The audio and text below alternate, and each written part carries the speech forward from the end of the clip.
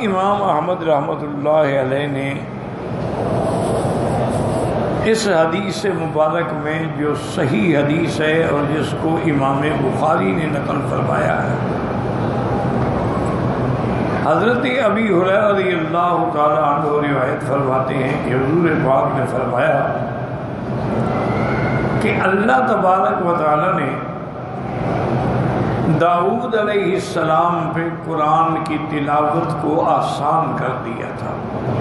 कुरान से मुराद कुरान नहीं, मुराद ज़बूर है, उनको भी कुरान कहा जाता है।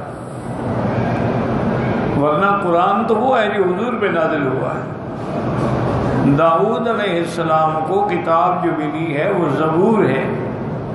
ईसा सलाम को जो किताब मिली, वो इंजील है। और मूसा सलाम को जो किताब मिली वो तौरात है, लेकिन उन पर भी लफ्ज़ कुरान का इतलाफ होता है। हजूर ने फरमाया कि हज़रत दाऊद हुक्म देते कि मेरे घोड़े को तैयार किया जाए दीन रखी जाए। वो घोड़े को तैयार करते और घोड़े के तैयार होने से पहले पहले हज़रत दाऊद जो थे वो ज़रूर पढ़ लेते और ये भी आपने सिफत बयान फरमाई हज़रत दाऊद की, कि कान लायाकुल्ला बिन अमल यदे वो अपने हाथ के काम से जो मजदूरी होती, वही खाते थे। हालाँकि वो बादशाह थे। तो एक बात याद रखें कि ये दरअसल अम्बिया के मोजात हैं और अलिया अल्लाह की करामात भी हैं वरना ज़बूर एक किताब है, इतनी देर में पूरी किताब पढ़ लेना, ये मोजा और मोजदे का माना क्या होता है कि जिसको करने से सारी मखलूक आजिज हो, और वो अमर खर के आदत किसी पैगंबर के हाथ में अल्लाह जहर फरमाए, वो मोजा होता है। अगर किसी वली के हाथ में जहर फरमाए तो करामत होती है। तो इसलिए अल्लाह तबारक व ताली की तरफ़ से ये उनको यानी इतना बड़ा मुआवजा मिला था कि वो इतनी देर में ही किताब मुकम्मल पढ़ लेते और हाफिज थे और इसी तरह याद रखें कि ये तो हमने भी, अल्हम्दुलिल्लाह, अपने दौर में लोग देखे हैं। जो एक रात में पूरा कुरान पढ़ लेते हैं।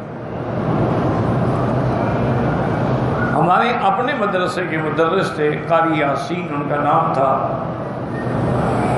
फौत हो गए, अल्लाह उनकी मफरत फरमाए, अल्लाह मफिर हो मौजावन हो। तो वो बेचारे मैंने मौत तक हमारे मदरसे में मदरस रहे माशा तो कभी उनको जब इरादा होता या प्रोग्राम बनता तो वो इशा की नमाज़ के बाद जो खड़े होते ना जी तो तहजत तक कुरान ख़त्म। कभी कभी रमज़ान मुबारक में भी तरावी के बाद जो शुरू करते ना जी, सारी के ख़त्म होने तक कुरान ख़त्म कर देते। तो अल्लाह ने उनके लिए भी ये आसान कर दिया था। और ऐसे कई वाक़ात हैं। जैसे कि हज़रत शेखुल हदीस रहमत हज़रत जकरिया रहमत ने अपनी आप बीती में लिखा है कि मेरी जवानी थी और मैं तरावी में कुरान सुनाता था। तो मुझे घर वालों ने मजबूर किया, वालदा ने, दादी ने, नानी ने घर वालों ने, बच्चों ने, बुज़ुर्ग औरतों ने के तुम मस्जिदों में खड़े हो के तरावी पढ़ते हो, मदरसे में पढ़ते हो, हमारा हक नहीं है कि कभी हमें भी कुरान सुनाओ। क्योंकि उनकी ज़िंदगी बड़ी मसरूफ़ थी, हज़रत शेख की। एक एक लम्हा कीमती था। तो आप फरमाते हैं कि एक दिन मैंने कहा कि आज रात जो है ना, तरावी के बाद आके फिर मैं तुम लोगों को कुरान सुनाऊँगा और सब अपने ख़ानदान को इकट्ठा कर दें। माशाल्लाह, बड़ा ख़ानदान था इकट्ठे हो गए। हज़रत फरमाते मुझे गुस्सा था कि क्यों मुझे तंग करती हैं? तो मैंने शुरू की मंजिल तो अल्हम्दुलिल्लाह, पहले पंद्रहवें पारे पे आके मैंने एक रकू किया। और दूसरे रकू में पूरा कुरान ख़त्म कर दिया। सारी का वक्त भी करीब आ गया। तो दिल में मैंने यही सोचा कि इन आज के बाद फिर मुझे कभी नहीं कहेंगे कि कुरान सुनाओ। क्यों? औरतें बेचारी खड़ी खड़ी। वो कहते हैं, मुझे दादी ने बुलाया और कहा, अबे जक्रिया, तुम दिल में इतरा रहे हो कि बड़ा तीर मारा। इतनी मंजिल तो मैं रोज पढ़ती हूँ। अभी तुमने पढ़ना है तो फिर सारी के बाद फिर खड़े हो जाओ। इतनी तो मेरी रोज की मंजिल है। ये कोई नई बात तो नहीं है कि तुम अपने दिल में खुश हो रहे हो।